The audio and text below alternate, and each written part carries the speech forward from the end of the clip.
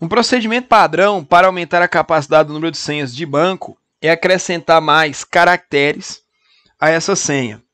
Essa prática, além de aumentar as possibilidades de senha, gera um aumento da segurança. Deseja-se colocar dois novos caracteres na senha de um banco, um no início e outro no final.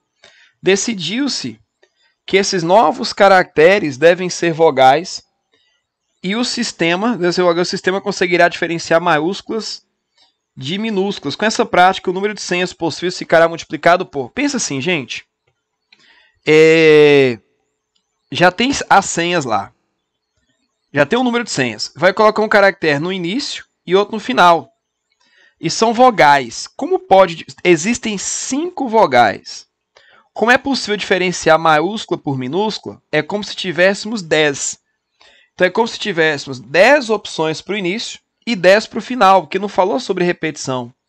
10 vezes 10, 100. Vai pegar o número de senhas que eu já tinha e multiplicar por 100, galera. Beleza?